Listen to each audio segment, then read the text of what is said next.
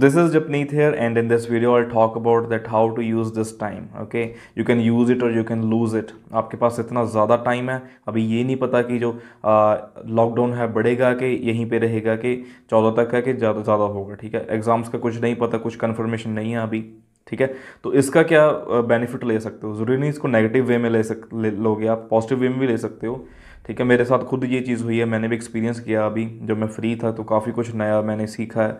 आप भी वो चीज़ कर सकते हो, अपने बेसिक्स पे वर्क कर सकते हो बेसिक्स पे नहीं तो एडवांस पे वर्क कर सकते हो because everything is available on the internet but what the thing you need is that is your willing power right अगर आपके पास विलिंग पावर है, तभी ये सब पॉसिबल है।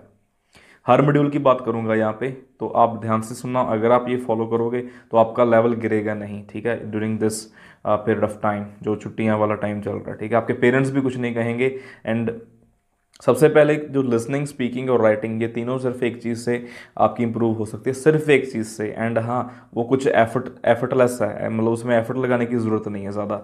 And that is watching Hollywood movies right Hollywood movies अगर आप देखोगे हॉलीवुड कंटेंट अगर आप देखोगे तो आपका एफर्ट भी ज़्यादा नहीं लगेगा। बस एम एम बी लगेगी। या ठीक है ना? तीन सौ, चार सौ एम बी की होती है मूवी या फिर ऑनलाइन देख सकते हो। तो उससे क्या है कि आपका लेवल ग्रो होगा। कोई भी मूवी उठा लीजिए एंड हाँ अगर यार ये चीज़ें आप करोगे मूवीज़ वगैरह देखोगे, देखो मैं कुछ नहीं, मैं खुद की बात बताऊँ ना, मैंने, मैं सिर्फ़ सिनेमा में मतलब थिएटर में, पता कब गया था? It was I think I guess 2010 2010 में। हमारे स्कूल वाले लेके गए थे पिक्चर दिखाने। दैट वॉज़ आई थिंक तारे ज़मी पर और समथिंग कुछ थी। मे बी या फिर हैरी पॉटर कुछ थी। तो जब जब गया था तो स्कूल वाले लेके गए क्योंकि मेरा इंटरेस्ट नहीं डेवलप हुआ उस फ़ील्ड में। मैं घर पे देख, देखता हूँ, घर पे कई बार देखता हूँ। तो अभी तो टाइम नहीं था पीछे जब मैं इंस्टीट्यूट में था। तो अभी क्या है, अभी मेरे पास काफ़ी टाइम है, अभी मैंने देखने स्टार्ट की हैं। एंड हाँ यार, आपका जो लेवल है लेवल के आपके जो सोचना, सोच, आप जो सोचते हो, वो काफ़ी ग्रो होता है बंदे का। ठीक है, आपकी जो सोच होती है योर थिंकिंग है ना? Movies actually broaden the horizon of your knowledge आप काफ़ी कुछ सीखते हो, काफ़ी कुछ, काफ़ी एग्जाम्पल्स होती हैं उसमें। राइट एंड उसको आप पॉजिटिव वे में भी यूज़ कर सकते हो for for your alls right जैसे कि मैंने बोला कि तीन मॉड्यूल है स्पीकिंग लिसनिंग एंड राइटिंग अगर आप वो देखोगे तो काफ़ी सारे एग्जांपल्स काफ़ी कुछ हॉलीवुड कंटेंट इसलिए बोल रहा हूँ क्योंकि वो स्टीरियो नहीं होता, वो घिसा पिटा नहीं होता। उसमें क्या है, हर बार कोई नई नई चीज़ होती है, हर बार कोई नई चीज़ होती है। तो वो देखोगे तो तीन मॉड्यूल का बेनिफिट तो है ही है रीडिंग का तो मैं बताऊँगा, उसके लिए उसके लिए बहुत स्पेशल चीज़ है, वो मैं आपको भी उसके बाद बताऊँगा। तो ट्राई करें कि मूवीज़ देखें एंड हाँ अपना लेवल ग्रो करें। अगर आपको बेसिक्स पे वर्क करना है तो ग्रामर करो। कोई भी अपने टेंथ तक ट्वेल्थ तक की कोई भी बुक उठा लो ग्रामर की एंड पढ़ने लगो उसको। मैंने भी, मैं भी कई बार पढ़ता हूँ। मॉडल्स वगैरह, काफ़ी कुछ क्लियर होता है मुझे भी, ठीक है? आपको भी मतलब क्लियर का मतलब मुझे रिवाइज हो जाता है। तो आपका अगर, जैसे कि आपको लगता है कि आपका बेस वीक है तो आप उस चीज़ पे वर्क करो। टाइम बर्बाद मत करो। एक बार जो गया है टाइम, वो कभी वापस नहीं आता। Time is the new money right time ही पैसा है। तो ये चीज़ भूल जाओ कि छुट्टियाँ हैं। ओके इन्जॉय करना इन्जॉय करो बट पॉजिटिव वे में करो। अभी यूट्यूब पे मैं that is my passion teaching is my passion तो मैं यूट्यूब पर डाल रहा हूँ। एंड हाँ it is kind of work for me as well अभी मेरा वर्क भी बन चुका है ये। काम भी बन चुका है मेरा। रेगुलर वीडियोज़ डालना। ठीक है? तो आप भी प्लीज़ अगर आपके पास विलिंग पावर है if you are passionate then then आपको कोई रोक नहीं सकता, चाहे वो लॉकडाउन हो, चाहे वो करोना ही क्यों ना हो, कुछ भी क्यों ना हो, ठीक है? तो प्लीज़ इस पर वर्क करिए आप एंड हाँ मूवीज़ वगैरह देखिए, आपका क्लियर होगा। उसके साथ साथ आप क्या कर सकते हो? जैसे अभी मैं रीडिंग की बात करूँगा तो रीडिंग के लिए क्या होगा? जैसे कि आप देख सकते हो पीछे कोई विकीपीडिया वगैरह जो है, जैसे कि मैं सर्च कर रहा हूँ, ठीक है? विकीपीडिया आप किसी भी चीज़ का विकीपीडिया आप यूज़ करो, पढ़ो, उसको यूज़ करो राइट एंड यूज़ करके क्या बेनिफिट होगा? आपकी जो रीडिंग पावर है, मैंने पहले भी बोला था, जब दस दस रुपये वाले टॉप अप कूपन आते थे ना that time but I but I use to do is like I buy a ten rupee coupon and then I वो स्क्रैच इट है ना? उसको मैं क्या कर रहा था कि हाँ रिचार्ज कर लेता था। And whenever data is going to complete जब भी डाटा वो कंप्लीट होने वाला होता था हंड्रेड परसेंट तो तभी मैं क्या करता था, एक अपने विकीपीडिया के फेवरेट जो मेरा सेलिब्रिटी है, उसका विकीपीडिया ओपन करके नेट ऑफ़ कर देता था, ताकि कोई डिस्टर्ब ना करे सोने के टाइम पे। एंड तब क्या कर रहा था, मैं रीड करता रहता था, यार हाँ क्योंकि आपका फेवरेट सिद्धू मूसेवाला लगा लो, ठीक है? ही इज़ एक्चुअली सिंगर है ना? या जस्टिन बीबर लगा लो। तो क्या आप जानना नहीं चाहोगे अगर आपका फेवरेट सेलिब्रिटी है? तो उसको सर्च बार में सर्च करो एंड हाँ उसका क्या अपना जो बायोडाटा वगैरह पढ़ो बायोग्राफी पढ़ो उसकी। मैं काफ़ी की पढ़ी, मैंने संजय दत्त की पढ़ी है, या फिर जो फॉरेन सेलिब्रिटीज़ है ब्रॉकलस नरसिंह पंग जॉन्सन वट एवर है ना हुएवर सबकी पढ़ी है मैंने।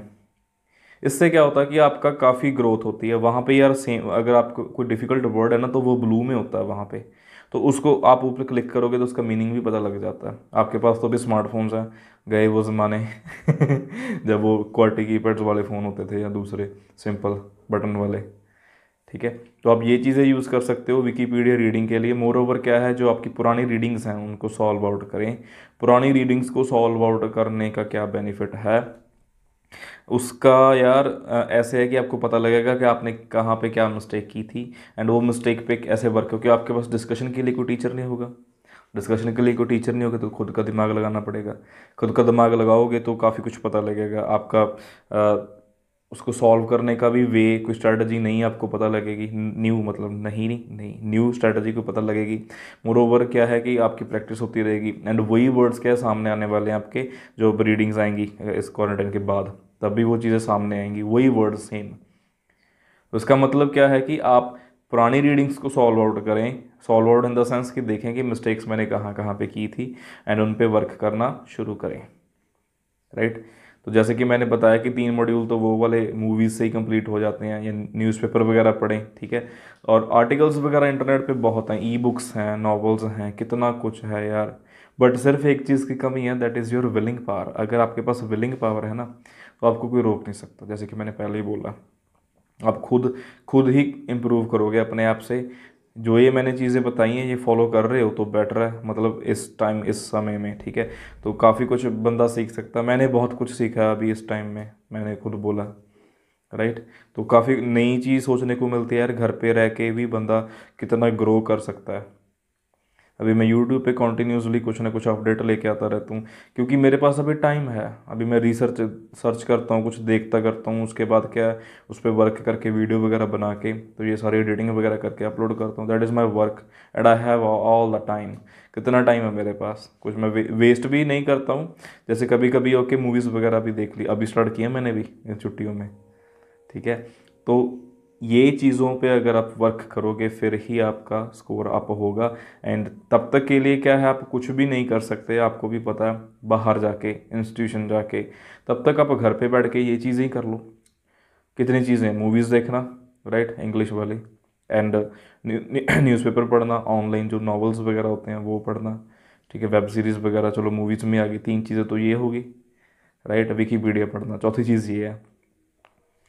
आपका जो शौक़ है ना शौक़ बड़ी चीज़ होती है वो चीज़ जगाओ। अगर आप में मुझे में रेसलिंग का शौक़ था डब्ल्यू डब्ल्यू e देखता था मैं। डब्ल्यू डब्ल्यू e देखने लगा। डब्ल्यू डब्ल्यू e से बा, बाद में मेरे फेवरेट फाइटर्स कुछ बन गए। उनके बारे में मैंने जानना शुरू किया। उनसे आगे कोई और फ़ील्ड में आ गया देखने के लिए। ठीक है?